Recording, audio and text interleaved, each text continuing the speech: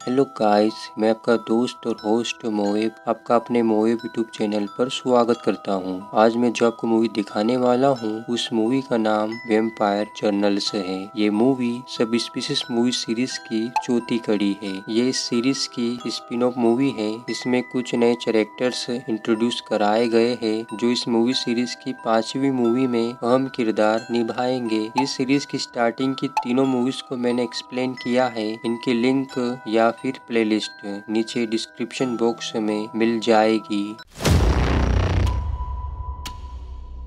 तो मूवी की शुरुआत रेबेका से होती है, जो खुद में एंजॉय कर रही है। तभी उसकी नज़र एक वेम्पायर पर जाती है। वेम्पायर को देखकर भागने लगती है। वेम्पायर उसके पीछे आता है। वो वेम्पायर रेबेका को पकड़ लेता है। वो उसका खून पीता है। तभी वहाँ पर जोचरी आकर उस वेम्पायर की गर्दन को उसकी धड़ से अलग कर देता है। जोचरी जागता है। ये सीन जोचरी का सपना होता है। यहाँ पर जोचरी अपने बारे में बता बताता है। वो कहता है, रेबेका मेरी मासुका थी। मैं अपनी मासुका को वेम्पायर अटैक से बचा नहीं पाता हूँ, जबकि मैं खुद एक वेम्पायर हूँ। उस रात के बाद मुझे ना तो शांति मिली है और ना ही आराम। ना जाने मैंने कितने देशों का भ्रमण किया, अनगिनत वेम्पायर्सों को मारा। फिर भी मैं अंदर से दुखी हूँ। मेरी आत्मा जल रही है। अब मैं पूर्वी यूरोप में आया हूँ, संगीत प्रेमी वेम्पायर यश को मारने। हमें यहाँ पर यह नहीं बताया जाता है कि जोचरी वेम्पायर्स को क्यों मार रहा है? उसका उद्देश्य क्या है? हमें सोफिया दिखाई जाती है, जो एक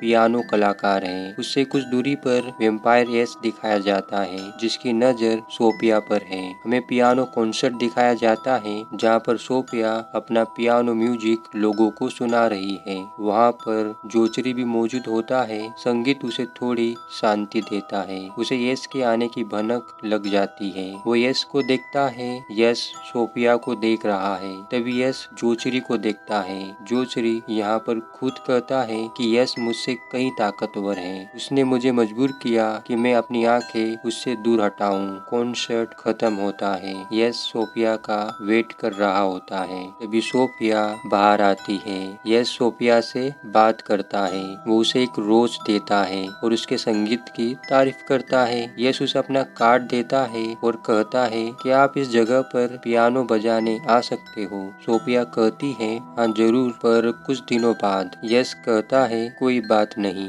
जो श्री इन दोनों की पूरी बातचीत को दूर से देखता है और सुनता है। यश वहाँ से चला जाता है। सोफिया भी अपने दोस्तों के साथ वहाँ से चली जाती है। सोफिया और उसके दोस्त एक दूसरे को गुड नाइट बोलकर अलग अलग डायरेक्शन में चले जाते हैं। अब सोफिया अकेली है। यश उसके पीछे है। यश के पीछे जोचरी है।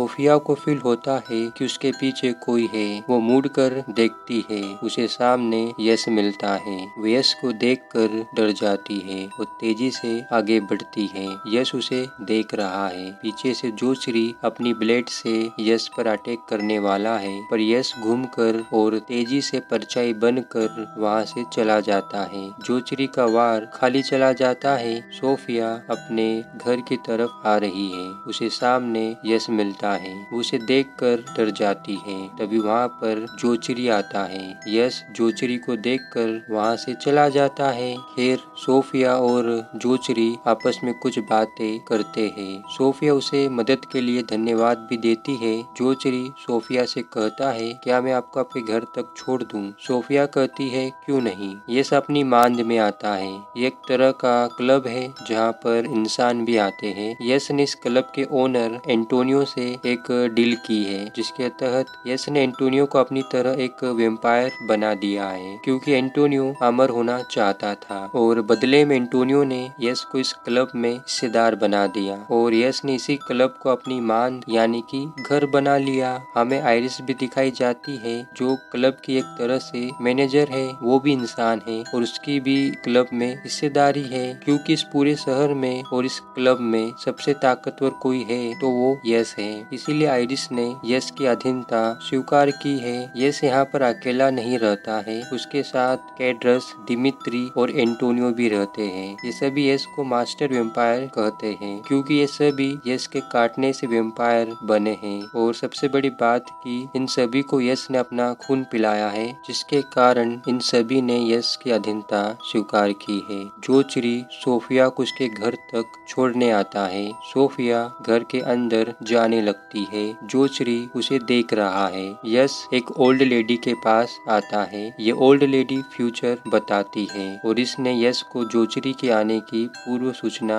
दी थी। वो कहती है, उसके हाथों में लेट्रेस की ब्लेड है, जो किसी भी वेम्पायर को नष्ट कर सकती है। तुम्हें उससे थोड़ा सावधान रहना होगा। सीन क्लब के गेट से पर आता है, जो ऑटोमेटिक तरीके से बंद हो जाते हैं। हमें यश और आयरिस दिखाए जाते हैं। ये दोनों वेम्पायर्स की मांद में आते हैं। यहाँ पर आप देख पाओगे कि अलग अलग वेम्पायर्स की अलग अलग मांदे हैं। यश अपनी मांद में आता है। एक तरह का रूम होता है जहाँ पर सूरज की रोशनी कहीं से भी नहीं आ सकती। आइरिस का काम होता है कि सभी मांदों को अच्छे से बाहर की ओर से लॉक करना और दिन में उनकी सुरक्षा का ख्याल रखना। यश अपनी मांद में आकर दो लड़कियों के साथ रोमांस करता है। मैंने तीसरी मूवी में बताया था कि वेम्पायर्स अपना प्यार किस तरीके से जताते हैं। अगर ये मूवी देखनी है तो लिंक नीचे डिस्क्रिप्शन बॉक्स में मिल जाएगी। ये जो दो लड़कियाँ हैं, ये वेम्पायर्स तो है, पर एकदम फ्रेश वेम्पायर्स जो ह्यूमन से अभी अभी वेम्पायर बनी है, जिनका खून भी ताज़ा होता है, जिसे यश पी रहा है। सुबह के सीन में सोफिया दिखाई जाती है, जो कहीं जा रही है, तभी उसके पास एक कार आकर रुकती है। उस कार से आयरिस बाहर आती है, जो सोफिया के पास आती है। आइरिस सोफिया को अपने क्लब में पियानो म्यूज़िक बजाने के लिए बुलाती है। वो कहती है, नाइट में हमारे मास्टर ने जो आपसे बिहेव किया, उसके लिए हमारे मास्टर ने आपसे माफ़ी मांगी है। वो आपके संगीत के बड़े प्रशंसक रहे हैं। तो क्या आप आज रात क्लब म्यूज़ियम में अपना पियानो संगीत बजाने आ सकते हो? इसके लिए आपको एक हज़ार डॉलर दिए जाएँगे। सोफिया कहती है, ठीक है, बिल्कुल, मैं आज रात आऊँगी। आयरिस ये सुनकर अपनी कार से वहाँ से चली जाती है। रात हो चुकी है, यश नींद से जागता है। सोफिया अपने घर से बाहर म्यूज़ियम क्लब में जाने के लिए निकलती है। उसे सामने जोचरी मिलता है। वो पूछता है, आप कहीं जा रहे हो? सोफिया जवाब देती है कि हाँ मैं क्लब म्यूज़ियम में पियानो संगीत बजाने जा रही हूँ और तुम्हें पता है, ये क्लब उसी का है जिसने कल रात मेरा पीछा किया था। वो मुझे पियानो संगीत बजाने का एक हज़ार डॉलर देने वाले हैं। तभी वहाँ पर कार से आयरिस उसे लेने आ जाती है, जो जोचरी सोफिया को रोकने की कोशिश करता है, पर सोफिया उसकी एक बात भी नहीं सुनती और कार में बैठकर वहाँ से चली जाती है। इस मूवी के फ़र्स्ट पार्ट में मैंने कहा था और अभी भी कह रहा हूँ कि लड़कियाँ किसी की नहीं सुनती। जोचरी भी कार के पीछे आता है। आयरिस कार से सोफिया को लेकर क्लब म्यूज़ियम में आती है। जोचरी भी परछाई से वहाँ पर आ जाता है और सोफिया और आइरिस को देखने लगता है। जोचरी यहाँ से सोफिया के लिए कुछ नहीं कर सकता। अब उसने सोफिया को उसकी किस्मत के भरोसे छोड़ दिया। आइरिस सोफिया को लेकर पियानो के पास आती है। आइरिस उसे पियानो बजाने को कहती है। सोफिया पियानो बजाने लगती है। आइरिस वहाँ से चली जाती है। सोफिया पियानो बजा रही है। तभी वो देखती है कि उसके सामने यश समेत सभी एम्पायर से बैठकर उसका संगीत सुन रहे हैं सोपिया पियानो। बजा रही है। तभी अचानक से उसके पास यश आता है। उसे नुकीले दांतों से काट लेता है और ये देखकर बाकी के वेम्पायर्स तालियाँ बजाने लगते हैं। यश सोफिया को उठाकर अपनी मांद में लाता है। क्लब के गेट्स बंद होते हैं। जोचरी कहता है, मैंने उसका सूर्य उदय होने तक इंतज़ार किया,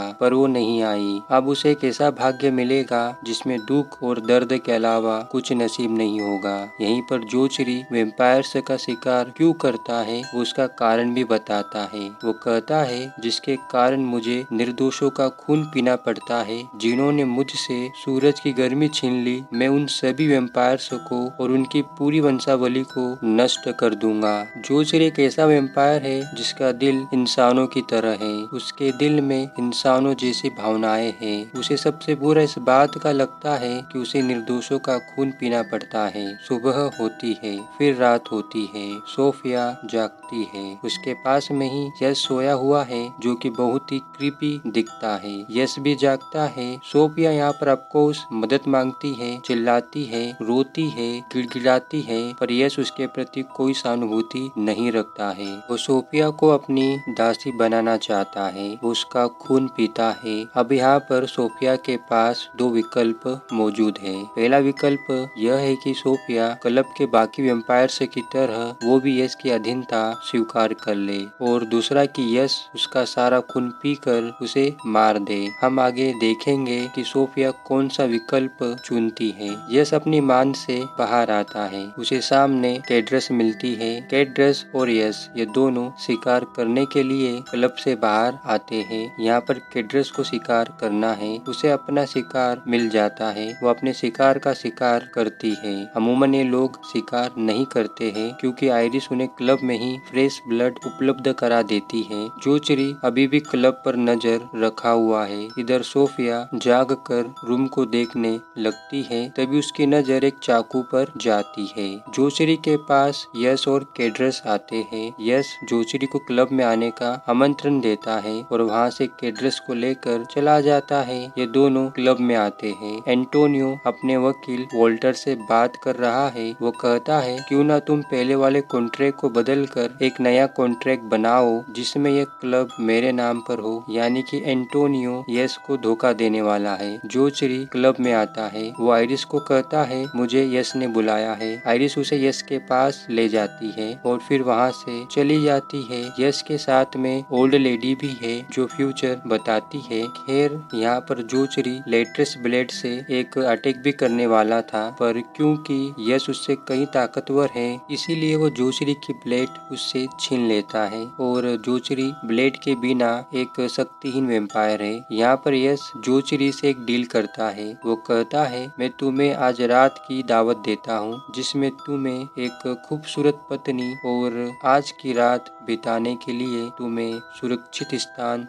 दूँगा, पर तुम्हें कल होते ही यहाँ से जाना होगा और फिर तुम कभी वापस लौट कर यहाँ पर नहीं आओगे। इसके बदले में मैं तुम्हें सोफिया से मिलने दूँगा। जोचरी के पास अब कोई दूसरा विकल्प नहीं है, इसीलिए वो यश की सारी बातों को मान लेता है। यश उसे उसकी मांद में लाता है। यहाँ पर जोचरी को एक खूबसूरत पत्नी आज के लिए मिलती है, जिसका वो जितना चाहे खून पी सकता है। यश जोचरी को उस लड़की के पास छोड़कर वहाँ से बाहर आ जाता है और उसकी मांद को बंद कर देता है। अब क्योंकि जोचरी खून का प्यासा है और उसे ना चाहते हुए भी उस लड़की का खून पीना पड़ता है यश अपनी मांद में आता है, जहाँ पर चाकू लेकर सोफिया खड़ी है। पर यश उसे अपनी पावर से घुटनों के बल ले आता है। वो कहता है, तुम्हें मेरी अधीनता स्वीकार करनी ही होगी। और एक कहकर उसका खून पीने लगता है। आयरिस यश की मांद की तरफ़ आती है। वो डोर पर नोक करती है। यश डोर ओपन करता है। वो कहती है एंटोनियो और वॉल्टर हमें धोखा देने वाले हैं। यश आयरिस को वॉल्टर को लाने को कहता है। सीन एंटोनियो पर आता है। एंटोनियो के पास यश आता है। यश के हाथों में लेटरस की ब्लेड है। एंटोनियो यश से माफ़ी मांगने लगता है। तभी वहाँ पर वॉल्टर को लेकर आयरिस आती है। वॉल्टर इन दोनों के पास आता है। यश एंटोनियो से कहता है, तुम्हें पता है, धोखा देने की सजा क्या है? वो ये कहकर वो ब्लेड वोल्टर में घुसा देता है और फिर उसके बाद यस एंटोनियो की गर्दन ब्लेड से काट देता है। आयरिस ये देखकर हैरान थी। यस एंटोनियो की गर्दन उठाकर उसे आग में जला देता है। यस आयरिस को इन दोनों की डेड बॉडीज टिकाने लगाने को कहता है और एक कहकर वो वहाँ से चला जाता है। सीन जोचरी पर आता है। यहीं पर जोचरी बताता है कि उसे वेम्पायर किसने बनाया? वो बताता है कि सेरेना नाम की एक लड़की ने उसे वेम्पायर बनाया। वो एक मनमोहक लड़की थी, जिसने मुझे सेड्यूस किया और फिर उसने मेरा खून पिया। हमें सोफिया दिखाई जाती है, यस उसके पास आता है। वो उससे कहता है, सोफिया, तुमसे तुम्हारा दोस्त जोश्री मिलने आया है। तो खुद को अच्छे से तैयार करो। वो सोफिया को लेकर जोश्री की मांद की तरफ़ आता है। इधर जोचरी खून पी रहा है, तभी उसकी मांद में यस और सोफिया आते हैं। सोफिया जोचरी को ऐसा देखकर हैरान थी। वो ज़ोर से चिल्लाती है। जोचरी उसे देख लेता है। यश कहता है, मैंने अपना वादा पूरा किया।